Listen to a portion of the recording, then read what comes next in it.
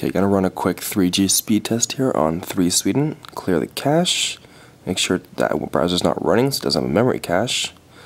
Let's power it up. First, I'm gonna load Google.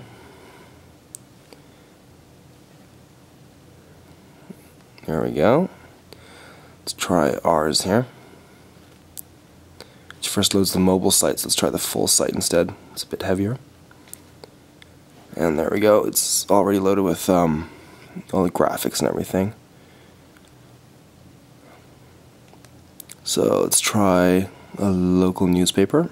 It's a pretty graphics heavy site.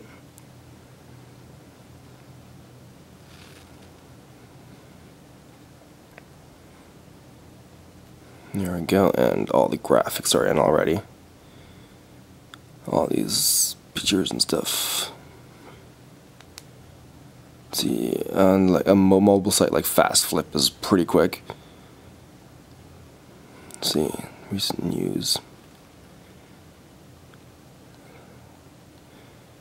Swipe, swipe, swipe, swipe. Works beautifully. And that's about